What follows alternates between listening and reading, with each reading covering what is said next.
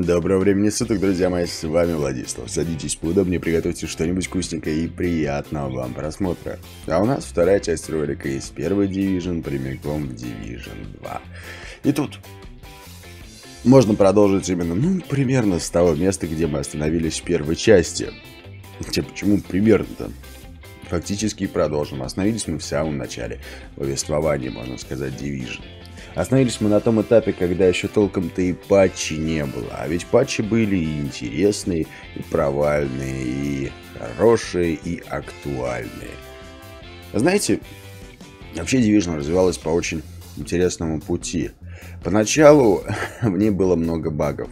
Сейчас намного меньше, но все равно хватало. Знаете, у меня тогда еще был слабый компьютер, очень слабый компьютер, реально по меркам Division. И очень часто, когда мы ренегатили, мы бежали по темной зоне, и у меня персонаж начинал идти медленно. Могли текстуры исчезнуть, то есть я мог просто под землю провалиться. А при спуске в канализацию всегда надо было не спешить, а вот чуть приспуститься, постоять на лестнице и посмотреть, есть ли там текстуры или нет. Сейчас такое уже редко встретишь, потому что это исправили, но тогда очень часто можно было провалиться под текстуры. Тогда куча багов было. Я помню, мы как-то с помощью бага залезли за край карты и побегали по той территории, которая даже сегодня не открыта. Вот вы представляете, вроде бы, да, Вроде бы столько патчей вышло, столько контента, а даже сегодня эту территорию, по которой мы бегали, ее так и не открыли. Ведь на самом деле, ребята, у них есть очень много территорий, которые нам в первый Division так и не запустили. Вот вы знаете, к примеру, что у нас есть центральный парк. Он реально есть, и по нему реально можно было побегать, но его так и не завезли. И есть очень много тех мест, которые мы никогда с вами не увидим. Просто потому что... Просто потому что ну, как, не так уж и много в основном.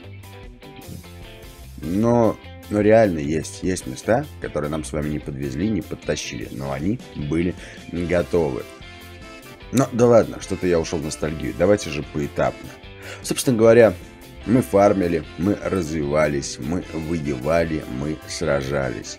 Ну и, само собой, мы покупали Season Pass в ожидании нового контента, потому что контент базовый был исчерпан чертовски быстро, и по окончанию сюжета мы поняли, что сюжета дальше не будет, потому что его как бы нет, и, кстати, сюжет так дальше не появился. Вопросов было много. К примеру, упавший вертолет, а погиб ли босс батальона или нет? Что вообще происходит? Часть сюжета нам раскрыли аудиозаписи, а часть сюжета пришлось додумывать самим.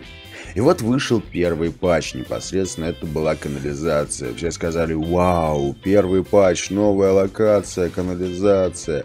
Нам чего там только не обещали в канализации, каких золотых гор нам только не рассказывали. И вот мы отправились в канализацию. Первый заход, это, кстати, реально была очень классная миссия. Эта миссия была а, на какой-то дискотеке в канализации, то есть в метро. И там реально играла музыка, была было куча света, было довольно-таки динамично, прикольно, и мы подумали, нифига себе, это если первая миссия там такая, то что же там будет дальше? Ну, как вам сказать, что там было дальше? Да ни хрена там не было дальше. Канализация с первого дня по сей день изменилась-то не сильно. Единственное, что изменилось сейчас относительно первой канализации, это там это там появились охотники. Да и то это изменение сугубо в кавычках. Сколько людей я не опрашивал на тему канализации, Люди реально, в принципе, сказали, что локация, задумка сама по себе неплохая. Автогенерируемая локация, которая постоянно вроде как формировалась по-новому. Но по факту говоря, формировалась она из нескольких шаблонов, которые просто перестраивали друг вокруг друга. И всю локацию вы могли изучить на раз-два. Серьезно. То есть она не была уникальной, она не была случайной. Она была стандартной из нескольких вариантов, которые проедались очень быстро. Но даже это было в принципе неплохо, и людям там не хватало сложности. То есть поначалу, когда было сложно, я не помню, канализация вышла до того, как порезали мобов, или уже после того, вот честно не помню, по-моему, до того, как порезали мобов, потому что помню, что нам там реально иногда вкатывали, а может быть это просто мы еще только учились. Я уже и не помню на самом деле, но по большей части люди в дальнейшем говорили, что канализация, конечно, это хорошо, но скучно, потому что все однообразно и легко, и даже со всеми директивами проходится она не так уж и сложно. А уж сейчас с секретными сетами в канализации вообще делать нечего, и даже те охотники, которые призваны были усложнить ее, не представляли никакой угрозы и убивались на раз-два. Это было реально отстойно, знаете. Люди хотели ПВП в канализации. Серьезно, то есть рандомное ПВП. Люди предлагали дать управление некоторой неписи игрокам. Ну, то есть, к примеру, появляется охотник, а он под управлением игрока, который охотится на вас. Вот тогда это было бы сложно, вот тогда это было бы хардкорно. А сейчас а сейчас канализация – место без уникального лута, место без уникального противника. А вообще, знаете, уникальный лут, он, он действительно мотивировал ходить в локацию. Примером тому послужил Лексингтонский конференц-центр и Ларей Барретт. Вы помните, сколько на нее было заходов? Ларри Барретт реально облазили вдоль и поперек, когда только падал э, секрет... Ой, не секретный, простите, жилет Барретт. Он же тогда всем нужен был.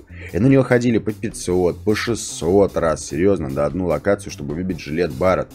Но народ ходил и понимал, что это нужно. Народ ходил и выфармливал. И черт побери, народу это было интересно. То есть всего-то одна уникальная шмотка и знание того, что там шанс дропа ее чуть больше. Он не стопроцентный, он просто чуть больше. И это уже замотивировало людей ходить в локацию. И ведь можно было бы сделать на каждую локацию по такой уникальной шмотке. Ведь серьезно можно. Тогда бы народ бы начал ходить и в другие донжоны, а не только в Лексингтонский конференц-центр. И ведь его заездили уже до такое состояние, что его просто знали вдоль и поперек. И как бы, ну, знаете, все хорошо было. Пока уникализацию шмоток, скажем так, не отменили. Ну, они стали падать везде. Вообще, мне кажется, первый шаг э, полному похеризму нашему к луту был сделан на пути, когда они дали возможность дропа хорошего шмота с обычных красных мобов в обычной локации. Ведь раньше как? Шмот падал либо в донжонах, либо в темной зоне. А вот с красных мобов, ну и вообще всех этих мобов, которые ходили э, по ПВЕ локации, там ни хрена полезного не падало. Ну, за исключением ПВЕ босса. Ну а сейчас что? Сейчас вы с ПВЕ босса можете выбить что-нибудь. С его охранки, которая просто красная, можете выбить какую-нибудь сетовую шмотку. Серьезно, сетовую. При этом вполне возможно даже засекреченную. И как бы я понимаю, зачем они это сделали. Они это сделали в угоду новичкам, точнее одиночкам. Потому что одиночкам было трудно, так как в темной зоне уже были в основном матерые зубры, которые знали игру вдоль и поперек и знали ее баги и недостатки. Знали ее, скажем так, это не баг, а фича. И это действительно играло очень большую роль, и сейчас играет не баг, а фича. К примеру, вы знаете, что мобы стреляют вам ровно по центру. И если из-за угла вы высунете чисто оружие, не высовывая свой центр, то мобы стрелять в вас не будут, зато вы в них будете стрелять. И вот таких вот приколов, как я сейчас рассказал, их тьма тьмущая. И как бы если вы их не знаете, то какой бы хороший стрелок вы не были, вы просто не сможете нормально сражаться в ПВП. Но в любом случае выход канализации был интересен. Он привнес новую шмотку, он привнес новый стимул, который, правда, быстро угас, но народ там провел какое-никакое время. И он привнес первое разделение между игроками на тех, у кого есть, и на тех, кто покупать не будет. Вообще, в принципе, сейчас большинство компаний отказывается от платного вот такого вот контента. Тот же самый Battlefield уже отказался. А знаете почему? Потому что э, локации, которые разделены ну, донатным контентом, типа вот вы купили локацию, играете, не купили, не играете. На тех локациях, на которых купили, точнее, не купили, ну, которые платные, там меньше игроков. Это замечательно просматривалось не на канализации, где всегда мы шли со своей пачкой, а на том же самом выживании. Если изначально в выживании, когда мы шли в ПВП, было по 20-24 человека, то сейчас в выживании по 2-4 человека. И это обусловлено, конечно, не только, что а, это платная локация, а тем еще и, что она э, довольно-таки не сбалансирована, тем, что новичку в выживании вообще делать было нечего. Но но одна из причин все-таки была именно то, что локация была платной. Ее надо было покупать, а очень многие игроки не хотели этого делать, просто потому что, а какого хрена? Они купили игру за 2000 рублей, тут им еще говорят, а теперь купить три пустых локации Ну, ладно, Ластен был интересен. Теперь купи три дополнения еще за 2000 рублей, которые тебе не принесут такого объема контента, как принесла базовая игра. И люди на эту тему думали, да вы что, охренели в край? И не покупали. Ну да, что-то я опять увлекся. В общем-то, друзья мои, шло время. Контент быстро исчерпал себя, выходили в разные патчи. Был, кстати, очень интересный патч 1.4, друзья мои, когда Ubisoft боролась за баланс. И тогда на пробежке, ну, по-моему, 1.4, меня могут сейчас поправить, они убрали перезарядку на бегу. То есть вот сейчас как народ мансует, мансует, мансует и перезаряжается на мансе, и хилится на мансе, все делает на мансе. А в том патче они убрали перезарядку на бегу. И знаете, что скажу? Это было реально круто. Тогда в том патче стали актуальны пулеметы, потому что их объем БК стал хоть теперь для чего-то нужен. Потому что пока в тебя разряжается автоматчик, ты спокойно в него стреляешь. И он тебя не добивает, потому что у него не хватает объема боезапаса. И он начинает перезаряжаться. А ты все равно продолжаешь стрелять, потому что твой БК 200 выстрелов, а его БК 60. И тебе, как ни крути, хватит этих 200 выстрелов а он бежать не может на перезарядке. И, как бы, знаете, это было реально круто. И знаете, из-за чего не стали вводить эту фичу? ПВЕшники, друзья мои, начали сопли распускать по поводу того, что им, видите ли, без перезарядки на бегу стало сложно в ПВЕ. Я когда это услышал, у меня просто был фейспалм. Я хотел спросить, а вы чё, в ПВЕ, блядь, бегаете? Серьезно? Вот, знаете, это вообще интересно, в легендарной сложности бегать перед мобами в ПВЕ. Там только перезарядка на бегу и нужна. Ну, ну а как еще-то в легендарной сложности перед мобами-то воевать? И как бы, ну серьезно, блин, ребята, ну, ну какого хрена? Почему ПВЕ? Я бы, я бы понял, если бы ПВПшники начали плакаться. Хотя как раз таки ПВПшники не плакались, ПВПшники это оценили положительно. А вот ПВЕшники распустили сопли.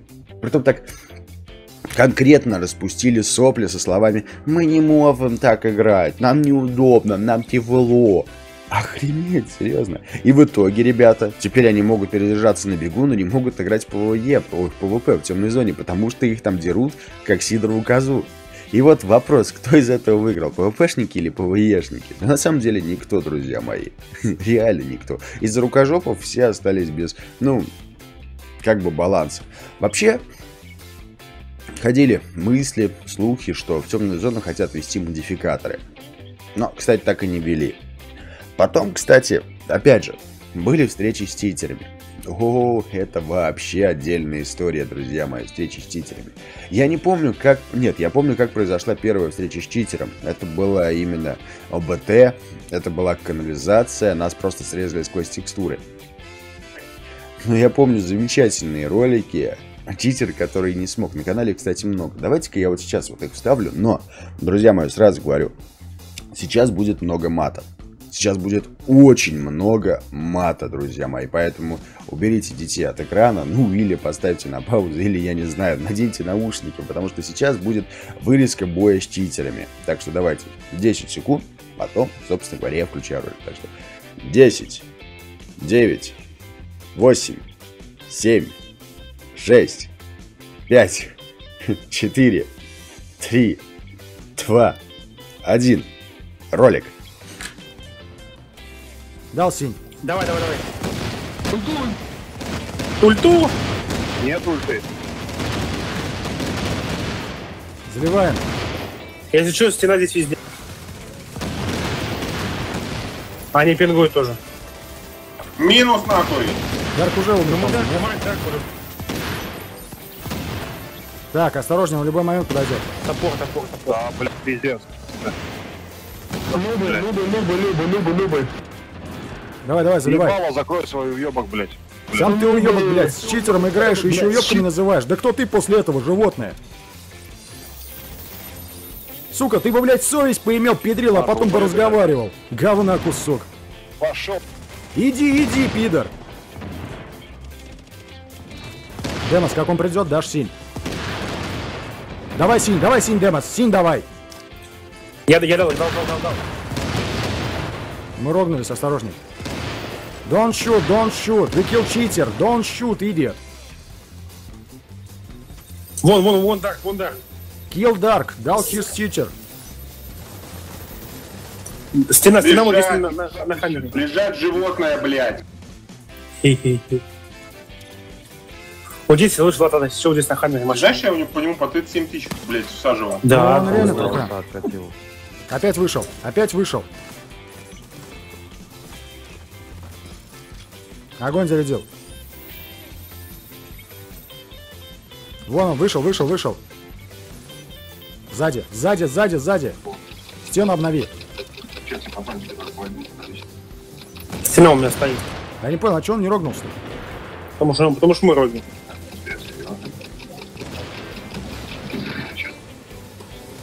Антискандал. Так, нужно зажать его, нужно зажать его в трех комнатах. Есть стена. Нам надо откдышиться, ребят, иначе хуёво будет. У нас сзади не. У Он нас сзади. Он сзади, сзади, сзади, сзади. Осторожней будь. Kill the cheater, guys. Dark, dark the Я виноват. Вот, я слышу, вот, когда мы какой-то лэг, что там это он. Это Меня убили, поднимаю. Ребят. Влад, нет стены. И он какая стена? Есть. Стена на мне. Огонь обновил. Подожди, стена на мне. Кило, кило, кило стреляет. Зачем? Кило суппорт читер. Ебало, закрой свое уебище тупое, блядь. Иди нахуй, блядь, педрила. Кусай Какой у тебя вообще, блядь, совесть хватает-то в игру заходить, сука? Вот ты, Пошёл блядь, ты посмотри на нахуй, себя со ты стороны, уёбок, играешь, блядь. сука, с читером, и что ты еще нахуй. Пошел нахуй, Давай, соси молча, животное. Синь дай, синь дай. Дес, Меня уже убили. благодарю. Огонь обновил.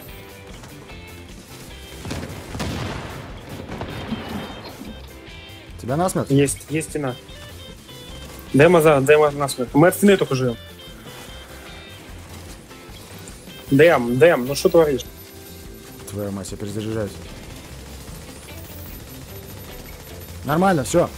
Упал, сука.